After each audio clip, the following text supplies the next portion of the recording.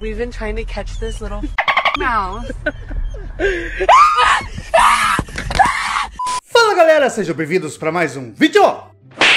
Quanto tempo não sai o Defoca Responde, né? Faz tempo. Eu peguei as perguntas da nossa aba da comunidade, do meu Instagram e do nosso grupo no Facebook.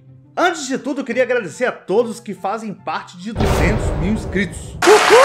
É mais que a fila do INSS, é mais que a fila do banco, é mais que a fila da comida, é mais que a fila do banheiro químico do dia de festa. Muito obrigado! Muitas pessoas também me perguntaram se eu tinha uma caixa postal. Queria mandar uma carta, queria mandar um desenho, queria mandar uma lembrança. Agora nós temos! A caixa postal vai estar na descrição do vídeo e no comentário fixado também. Tá bom. E tudo que vocês me enviar na caixa postal vai aparecer aqui no canal. Tá bom. E sem mais delongas, bora pro vídeo! Fala, Jorginho. Tomar uma hoje. Baldezinho hoje. Fica me mandando mensagem pra mim beber não. Manda mensagem pra arrumar um emprego pra mim. Fala aí, Jorginho, arrumei um emprego pra tu e pra tua esposa. Eu, hein? Minha esposa tava perto. Aonde? Fala comigo, onde é boa. Tamo junto, neguinho. Desmonetização pergunta: Defoca mora em qual estado, país ou cidade? Amazonas, Brasil, Manaus. Ó pátria amada, idolatrada, salve, salve. Quantos anos você tem? Tô novão ainda. 38. Nossa senhora. Por que escolheu o nome Defoca para seu canal? E o outro aqui me perguntou a mesma coisa. Tome leite. Leite! Como eu já disse em vídeos anteriores, não sei. Veio na cabeça, eu coloquei. Robson Pereira perguntou: Defoca, você parou de falar sobre pastores porque você não estava suportando mais? Naquela época que eu já sentia que aquela temática não era o que eu queria pro canal, veio também as ameaças de processo judicial. Aí só juntou o útil ao necessário. Para! Eu vou meter processos. Gato Amigo pergunta: Você já tinha pensado em outros nomes pro canal antes do Defoca? Já! Antes do canal Defoca, eu já tive outros canais. Mas todo canal que eu criava, YouTube deletava. Alvarenga Kleber pergunta: Um medo. Antes eu tinha medo de não conseguir conquistar os meus objetivos. Eu tinha muito medo de falhar. Tinha muito medo de embarcar em alguma coisa e não conseguir concluir, não conseguir realizar. Mas com o tempo eu entendi que todo desafio que chega na tua vida é a prova de que você tem que melhorar a todo instante, que você tem que evoluir, que você tem que sair da mesmice, da rotina. E aí esse medo passou. Adenilson perguntou: Nescau ou Todd? Todd, daquele bem escuro. Leia Underline BGES pergunta: D, você está seguindo firme na academia? Tô. Postei até no Instagram perda de peso? Ajuda o maluco, tá doente! Joelma Carvalho 2021 pergunta: Boa noite. Gostaria de saber por que você foi morar no norte. Tenha uma ótima noite. Boa noite. Antes de vir pra cá, eu não tava conseguindo emprego em lugar nenhum onde eu morava. Lá no interior do Rio de Janeiro. E eu tava passando muita necessidade. O bicho tava pegando. E aí meu pai veio com a proposta de poder morar com ele aqui no Amazonas. E aí eu vim pra cá. Blá blá blá blá blá blá blá. Pergunta: Qual o seu nome? Meu nome é Douglas. Carlos Eduardo. Luma Vini pergunta: Defoca, você já tomou o Guaraná Jesus? Eu ainda não tomei, mas sou doido pra tomar. Que delícia! Maria A pergunta: Defoca, se você encontrasse uma lâmpada mágica e poderia fazer três desejos, mas tudo que desejasse, seu melhor amigo iria ganhar em dobro. O que você desejaria? Por favor, me escolhe. Meu nome é Gabi. Gente, curte aí, por favor. Hum, agora complicou, hein? Complicou.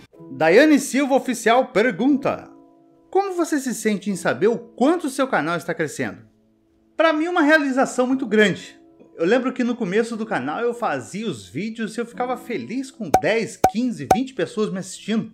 E ter o retorno positivo, o carinho de vocês nos comentários, nas redes sociais, me incentiva a fazer mais e mais. Com certeza. Liliane Fernanda pergunta: Defoca, você tem trauma de alguma coisa? Davi Secheto pergunta: Qual a sua meta para 2020? A minha meta para 2020 é um pouquinho ambiciosa. Eu quero conseguir gravar vídeos de noite e fazer lives com vocês. Evandro Del Grande pergunta: De foca você já caiu no manto? Não. Li Barros pergunta: Feijão em cima do arroz ou arroz em cima do feijão? Hein? Hein? Arroz em cima do feijão. Rodrigo Souza pergunta: De foca, para você qual a maior desgraça que aconteceu na sua vida? Não vale dizer casamento, porque isso todos sabem.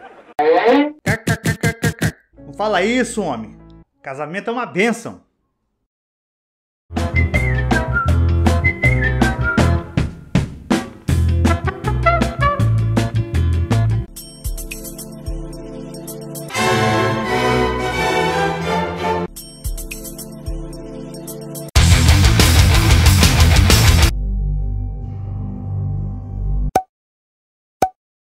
Inclusive, eu queria muito que minha esposa participasse do vídeo de hoje, mas ela fez uma cirurgia muito séria e está em processo de recuperação. Mas respondendo tua pergunta, a maior desgraça da minha vida foi a perda do meu pai. Eu era muito ligado ao meu pai. E ele morreu ajudando o próximo, que era o que ele fazia sem medir esforço. Eu fiz até um vídeo de Dia dos Pais em homenagem a ele. Bolacha ou biscoito? Ô, gente, é biscoito. Ô, gente, é bolacha. Cristina Souza pergunta: Felizmente, pessoas evangélicas, eu sou evangélica, acha que cristãos não devem ser comediantes. Não penso assim. Você sofre algum tipo de repreensão por causa disso? Não. Chrono Switch pergunta: Você tem um gato? Não. Free Fire Jogo de Corno pergunta: Onde fica a rua Churusbangos Churusbagos? Eu tenho uma pessoa perfeita para responder essa pergunta. Ô meu amigo, eu tô perdido aqui, mano. É, você sabe onde é a rua Churros Bango Todos Bagos?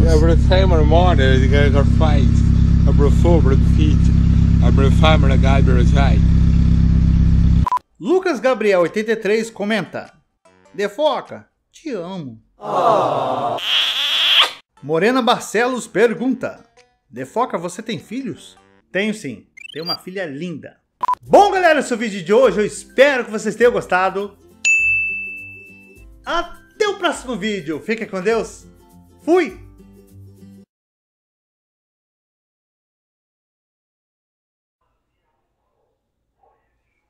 Cara, foi só começar a gravar.